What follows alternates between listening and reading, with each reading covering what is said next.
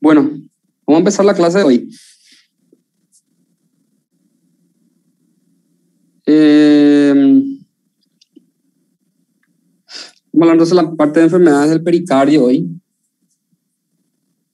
que de forma evolutiva son en realidad cuatro diagnósticos que pueden ocurrir, ¿verdad? La pericaritis aguda.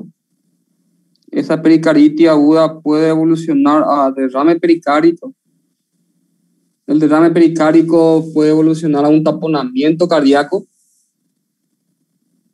Y algunos casos de pericarditis eh, pueden calcificarse de forma crónica y generar lo que se llama una pericaritis constrictiva, ¿verdad? Que es algo extremadamente raro, en realidad yo en la práctica médica aún no vi un caso de pericarditis constrictiva, ¿verdad?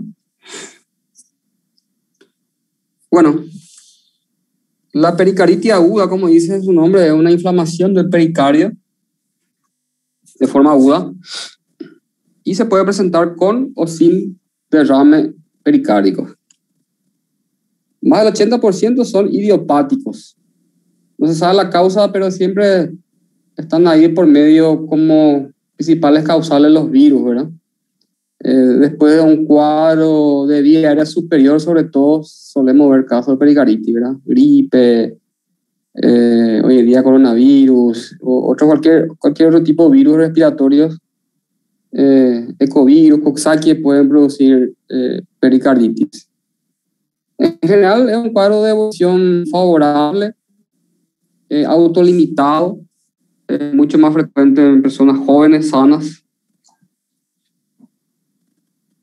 Y muchas veces puede pasar desapercibido, ¿verdad?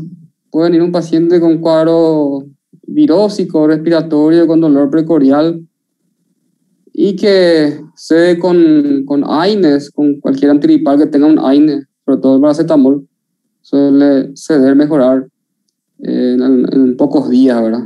Muchas no hacemos diagnóstico, pero igual la evolución es, buena, es eh, autolimitada. ¿verdad?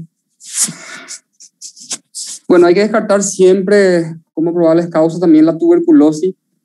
En ese caso hay que buscar unidad diagnóstica y clínica. ¿verdad? Si tenemos una sospecha de pericaritis por tuberculosis, vamos a tener obviamente también una radiografía de tórax pulmonar alterada. Podemos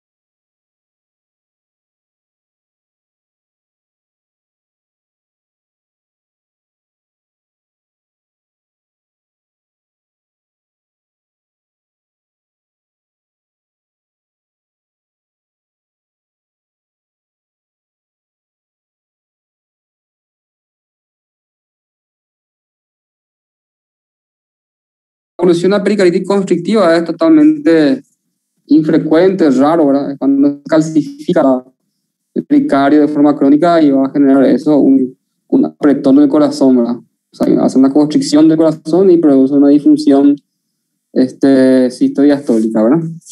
Y va a generar una insuficiencia cardíaca. Bueno, el cuadro clínico de una pericaritis es dolor este, precordial que irradia trapecio, un dolor inflamatorio, ¿verdad? Tipo puntada. A veces se suele acompañar de pleuritis también, eh, fiebre, a la ocultación podemos encontrar roce pericárdico. Dos tercios de los casos de pericaritis puede producir un derrame leve, que en el caso que sea un cuadro viral agudo autolimitado se resuelve solo. Y en los casos crónicos, obviamente, hay que buscar la causa hacia el diagnóstico, si es tuberculosis, neoplasia o enfermedades reumatológicas autoinmunes, ¿verdad?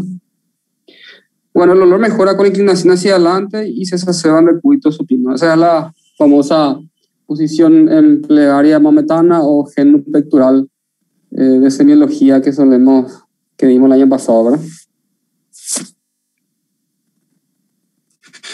Bueno, lo interesante está en, el, en los hallazgos del electrocardiograma. A todo paciente con, con esta clínica hay que hacer el electrocardiograma y ver si tiene cambios compatibles con pericarditis. Bueno, se ve elevación del segmento ST, siempre mirando desde el punto J, y es difuso el, la elevación del segmento ST, o sea que en todas las derivaciones, excepto ABR y B1. Después vamos a ver en B2, B3, B4, B5, B6, ABL, D2, D3, D1, vamos a ver entonces una elevación del segmento ST difuso de concavidad superior Vamos a ver una depresión dentro de los PR y puede haber ondas T negativas luego de normalizarse el segmento ST. Bueno, esta imagen entonces del supra nivel del segmento ST. Y aquí tenemos la depresión del segmento, segmento PR, ¿verdad? Segmento PR, entonces hay una depresión hacia abajo, ahí como indica la flecha. Bueno, en, en, en la evolución natural, el supranivel va a empezar a descender y luego, una vez que llega a la línea de base, ahí empieza a formarse la onda T negativa eh, por pericaritis. En el caso que es por coronario agudo, tenemos el supra y antes que baje la línea base ya se va formando la onda T negativa. Esa es una diferencia con el electro de un paciente con carepatía isquémica. Entonces, vuelvo a repetir, en, la, en la, pericaritis, el supranivel desciende a la línea base y después aparece la onda T negativa. En el infarto hay supranivel y a la par ya se va formando también la onda T negativa y después recién el supranivel vuelve a la línea de base, ¿verdad? A la línea isoeléctrica. Aquí tenemos el electro ya... Sí. Acá vemos que la onda T es positiva, tenemos el supra, pero la T es positiva, entonces hay un supra de nivel de cemento CT en todas las relaciones, excepto ABR y B1. Bueno, en su evolución, el supranivel va a descender a la línea de base o línea isoeléctrica con el tiempo y luego se forma la onda T negativa. Es en el caso de pericarditis. En el caso del infarto, hay un supranivel de cemento CT y antes de que descienda el supranivel de cemento CT ya se forma la onda negativa. Esa es una diferencia, entonces, en cuanto a los cambios dinámicos del electro, en, en cuanto a la evolución, ¿verdad?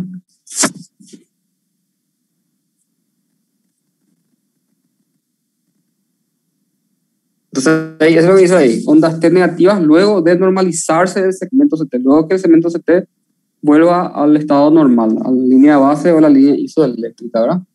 Entonces, estos tres cambios hay que tener en cuenta, hay que anotar. Entonces, elevación del cemento CT difuso de concavidad superior, como se ve en la imagen, excepto ABR1, depresión del interior OPR y ondas T negativas luego normalizarse el cemento CT.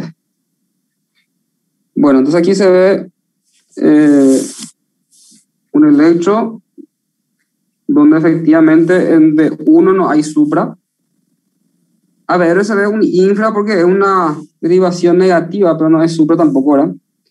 Y empezamos a ver a partir de, de 3, ya en este caso, de 4, de 5, de 6, tenemos de 1, tenemos de 2, tenemos de 3. O sea, eh, varios supra a nivel cemento CT, ¿verdad? Si esto sería un infarto, sería una obstrucción bilateral de las coronarias, pero eso es muy poco probable, ¿verdad? Es algo extremadamente raro que o mucha mala suerte que se cierra a la vez las dos coronarias, ¿verdad? Pero de todos modos la morfología es diferente. La concavidad es superior en el caso del, de la pericarditis aguda, ¿verdad? Y por la clínica y hay antecedentes de fiebre, cuadro de vía aérea superiores, rinorrea, congestión, dolor de garganta, tos, que no va a haber en un coronario agudo, ¿verdad? Y también se ven personas más jóvenes y sobre todo sanas, menos de 30 años, ¿verdad? Doctor, ¿y el intervalo PR también es difuso? O sea, la depresión del PR. ¿o también... Sí, es difuso. En toda la diación también se ve la depresión del segmento PR, sobre todo. ¿verdad? Voy a tratar de andar. En la siguiente imagen se ve mejor. Este sería el segmento PR deprimido, ¿verdad? Hay como una cubeta, una caída. Normalmente es recto, ¿verdad? Entonces se ve toda la derivación, la depresión del centro PR. Bueno, en la radiografía tórax puede haber cardiomegalia, si es que hay derrame pericárico, ¿verdad? Se ve como un corazón en botellón o en dama juana. Después le voy a mostrar la imagen. También puede haber derrame pleural izquierdo, porque la punta del corazón está más en contacto con la pleura izquierda que con la derecha, ¿verdad? Esta sería una imagen de una radiografía simple, postero anterior de tórax, donde se ve entonces una cardiomegalia este, eh, tanto a nivel izquierdo y derecho, por presencia de líquido que rodea al corazón. Se llama corazón entonces en bota o, o dama juana, que es tipo un botellón para llevar vino. Bueno, el diagnóstico dos de los siguientes. Tiene que dolor típico, roce pericárico, electrocardiograma compatible, aunque el electro no es tampoco 100%, ¿verdad? Puede ser una clínica, puede haber roce pericárico y tu electro no estar alterado, ¿verdad? O sea, el electro tampoco no es algo patognomónico, esto puede faltar también. Pero cuando más inflamado esté, más cambio electrocardiográfico va a haber, ¿verdad? Eh, entonces, cuatro criterios, que tenga, que tenga dolor típico, roce pericárico, cambio en el electro o derrame pericárico. Dos de esos cuatro, si tenemos, ya estamos un diagnóstico de pericarditis aguda según el tiempo de evolución, ¿verdad? Bueno, en el caso que tengamos elevación de las enzimas cardíacas, ya se trata de una miocardio pericarditis, o sea, está afectado el miocardio y el pericardio por proceso inflamatorio viral o autoinmune o eh, infeccioso, ¿verdad? Eh, viral o otro tipo de germen, sobre todo tuberculosis, ¿verdad? Bueno, eh, hay que saber también que la, el infarto de miocardio, eh, sobre todo cuando es transmural, todo el espesor del músculo, la inflamación puede llegar hasta el pericardio y dar una pericarditis aguda también por IAM en los primeros días, ¿verdad? En la fase aguda. Ahora sí, esa, ese dolor pericárico aparece tres, cuatro semanas después del infarto, se llama síndrome de Dressler, que es una pericarditis ya inmunomediada tardía, después de un coronario agudo, después de un infarto transmural sobre todo.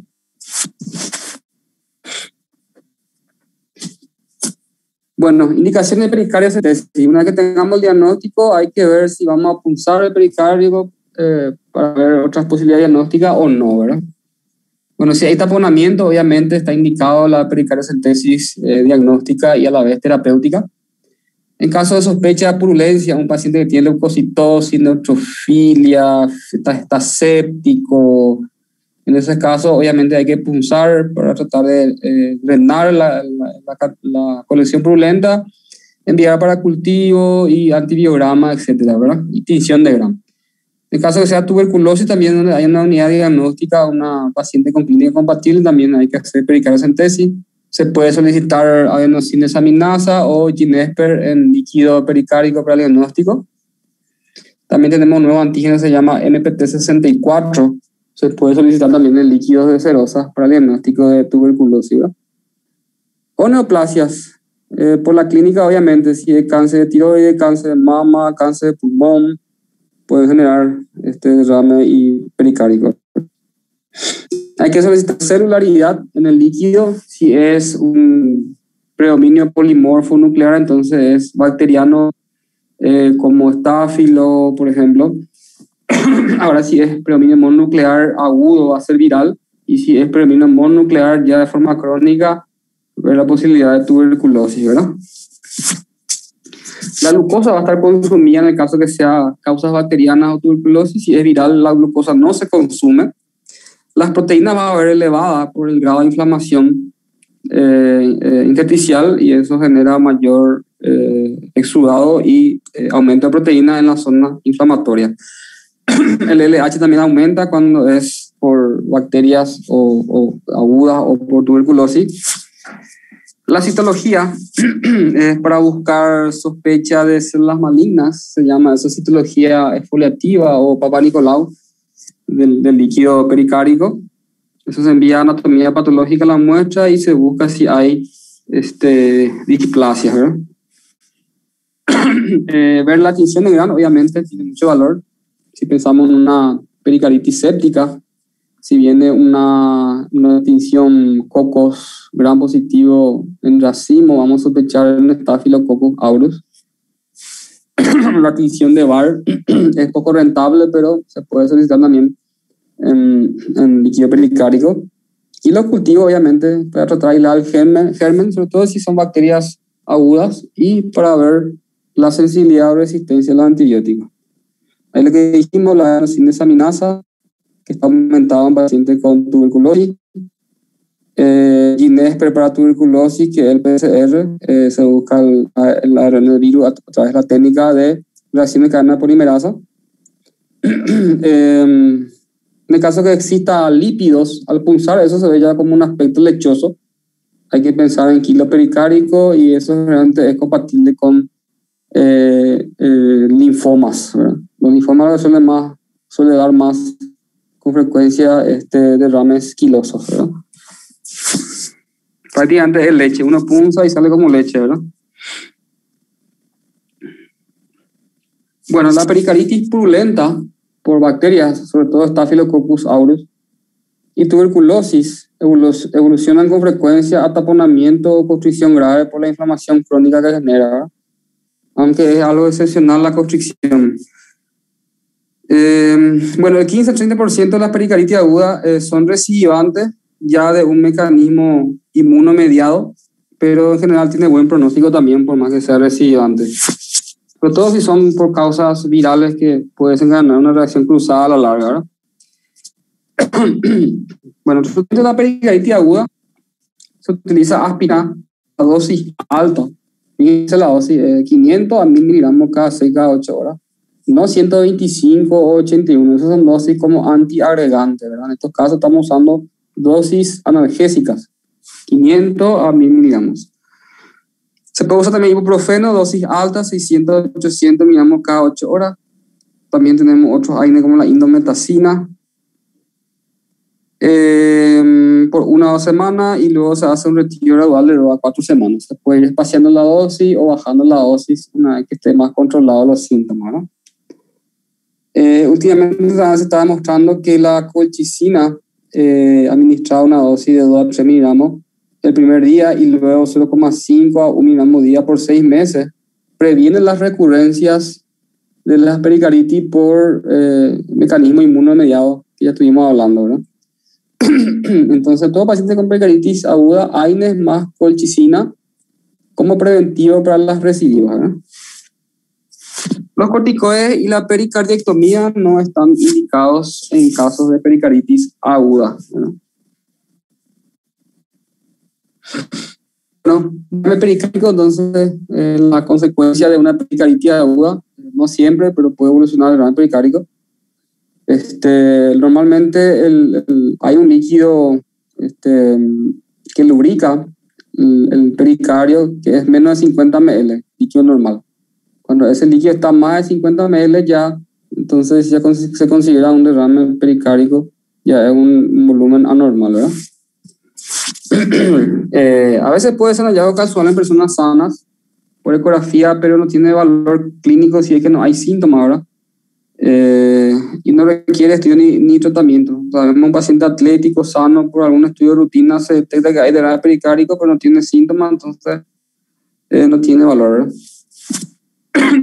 Otras causas de síndrome de derrame pericárdico puede ser el síndrome urémico, la pericaritis urémica, el hipotiroidismo también, eh, bueno, insuficiencia cardíaca, síndrome nefrótico, existen otras causas también que puede producir derrame pericárdico, ¿verdad? Se considera crónico cuando es más de tres meses de evolución ese derrame pericárdico.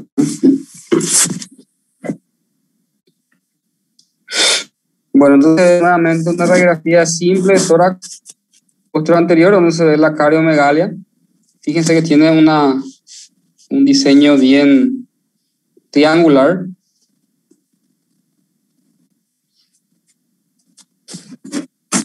Eh, esa es la, forma que se ve cuando uno es pericárdico. Y en el ecocardio, grama, podemos ver, eh, aquí tenemos la aurícula derecha, la aorta, el ventrículo izquierdo y el derrame pericárdico se ve entonces color negro que rodea el, el área cardíaca, ¿verdad? Entonces así se ve por ecocardio y se puede ver también por ecografía normal, ¿no? Es muy difícil encontrar este líquido libre en saco pericárdico, ¿no?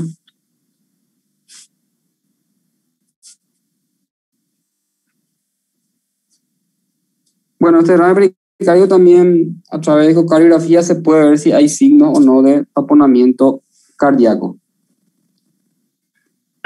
bueno, el siguiente capítulo es taponamiento cardíaco, que es otra vez una complicación que puede ser por derrame pericárdico. Produce una dificultad en el llenado diastólico de las cavidades derechas eh, por la eh, presión que está generando el líquido contra el, el volumen, el, la sístole del corazón, ¿verdad? Bueno, eh, generalmente el taponamiento cardíaco se suele ver más por pericaritis por tuberculosis o pericaritis purulenta y o neoplasias, ¿verdad? Que son todo patologías eh, eh, potencialmente graves y muy sintomáticas, ¿verdad? Eh, a modo comentario hay que decir que los diuréticos pueden agravar el cuadro, ¿verdad? Porque al haber menos volumen el corazón va a bombear menos eh, sangre, ¿verdad? Entonces en estos casos lo contrario, habría que hidratar al paciente para que el corazón pueda trabajar con mayor volumen y vence la resistencia al taponamiento, ¿verdad? Entonces los diuréticos están contraindicados en caso de taponamiento cardíaco. Pero clínicamente se manifiesta como una insuficiencia cardíaca, ¿verdad? Bueno, en el caso clínico entonces produce una insuficiencia cardíaca derecha, predominantemente, va a congestión pasiva del hígado, infección yugular, este, reflujo hepato yugular, ascitis, dependiendo del tiempo de evolución también, pero una clínica de insuficiencia cardíaca derecha. Hipotensión, obviamente, por la, el aflujo de sangre a la cavidad derecha y eso que vaya a izquierda, ¿verdad? Puede haber shock cardiogénico este, o disociación electromecánica. Eso le voy a mostrar después cómo es en el electro esta disociación, ¿verdad? También podemos ver hemopericardio agudo, sobre todo en pacientes que tienen disección de aorta tipo A. Y configura una clínica que se llama triada de Beck, que da hipotensión, ingurgitación yugular y corazón pequeño quieto. A la auscultación, entonces, es un, un corazón bien hipofonético. y esas son sus características. Y también podemos tener el pulso paradójico, ¿verdad? La exacerbación del pulso paradójico. Entonces, un descenso de la presión arterial sistólica superior a 10 en inspiración, pero también se puede ver en casos críticos positiva en común de poco. O sea, todo es eh, por afectación de cavidad derecha.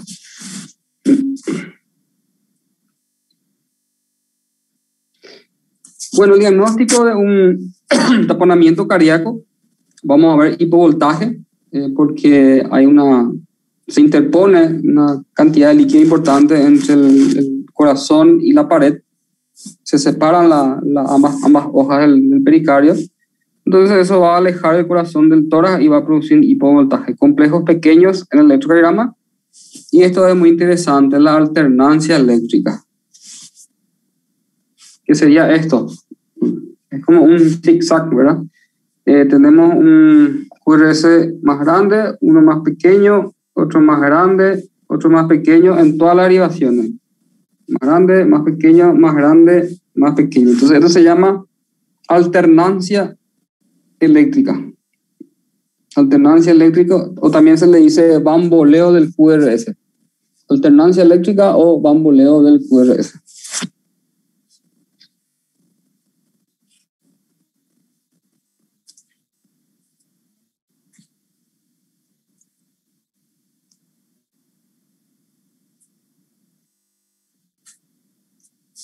Bueno, en radiografía toda podemos ver cardiomegalia sin congestión pulmonar, es interesante, porque si no hay insuficiencia cardíaca por otras causas, vamos a ver congestión pulmonar a la mariposa, línea de Kerley, etc. Sin embargo, cuando es una cardiomegalia por, por, de, por cardíaco, eh, no hay congestión pulmonar, ¿verdad? Bueno, el signo más característico en la ecocardiografía de taponamiento es el colapso de las, de las cavidades derechas, ¿verdad? Porque la, la, la, cavidad derecha tiene menor presión que la izquierda y es más fácilmente colapsable cuando se, somete, se le somete con una presión externa, ¿verdad? en este caso por el taponamiento. Bueno, diagnóstico diferencial de un taponamiento cardíaco, insuficiencia cardíaca de otra etiología, pericaritis constrictiva, cor pulmonar agudo, ¿verdad? Que puede ser por un PEP agudo, y infarto del ventrículo derecho, que también va a dar hipotensión y, y sobrecarga derecha, ¿verdad? Esos son sus diagnósticos diferenciales en cuanto a la similitud de los síntomas. ¿verdad? Bueno, el tratamiento del taponamiento cardíaco es una pericardiocentesis sushifoida eh, cuando hay taponamiento grave, porque puede apeligrar la vida del paciente, obviamente va hipotensión, shock y, y eh, paro, ahora, paro respiratorio en casos graves. En el resto hay que tratar la causa. Si es tuberculosis con un taponamiento leve, entonces obviamente con antivacilares debe ir mejorando, ¿verdad?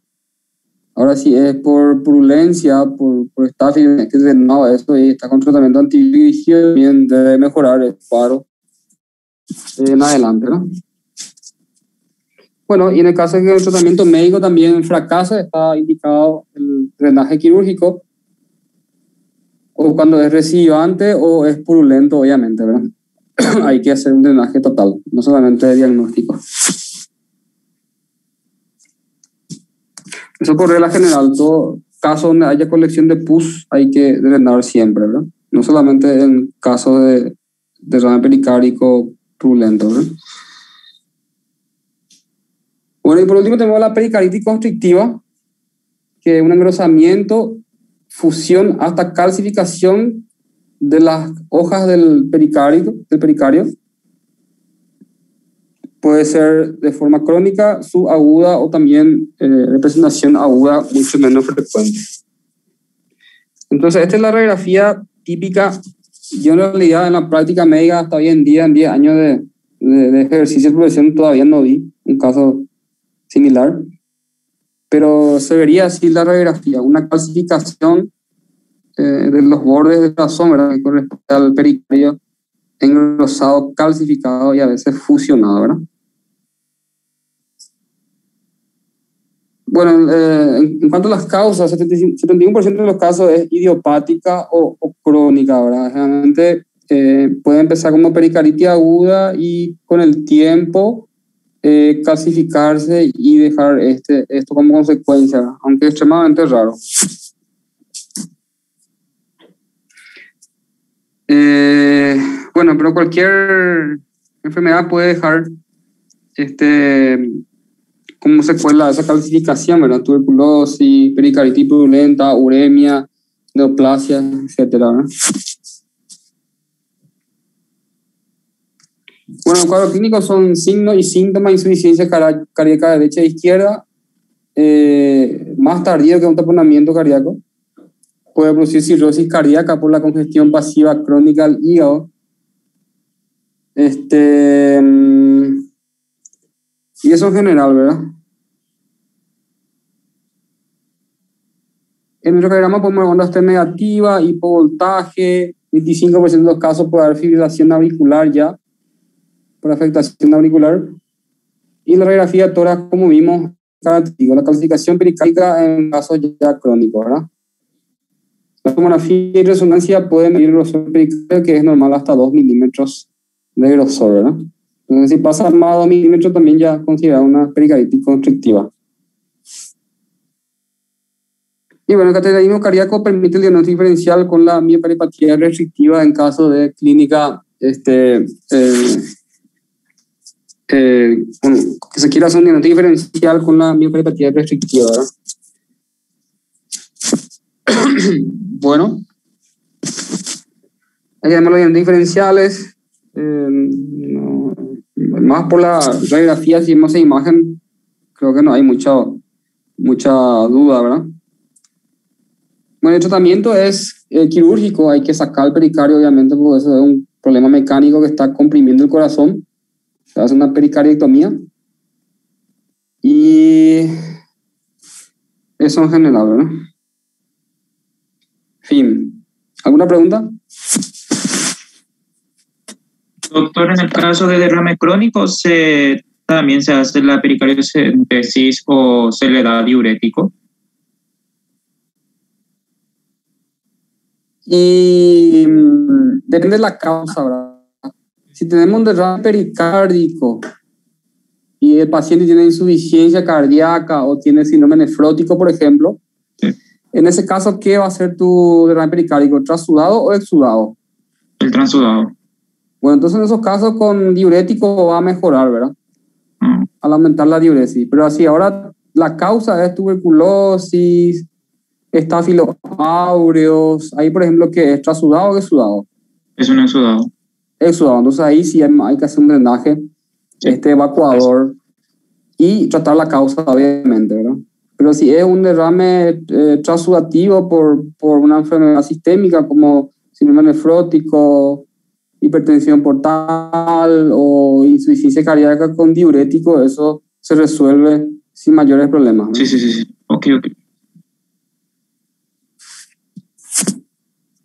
Y bueno, y como hablamos, si la clínica es buena, hay un cuadro viral, hemograma normal, y vemos por ecocardio un derrame pericárdico que es poco sintomático, en esos casos se expecta nomás y suele resolverse solo, ¿verdad? Cuando es causa viral, así paciente de estado general, sano, joven, sin factor de riesgo, hemograma normal, eh, no está séptico, un paciente que tolera bien, entonces en esos casos generalmente se expecta si es de origen viral idiopático y se resuelve solo, ¿verdad?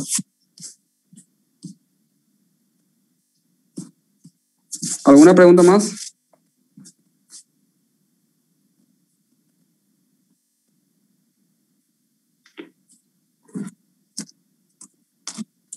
Creo que ya no, doctor.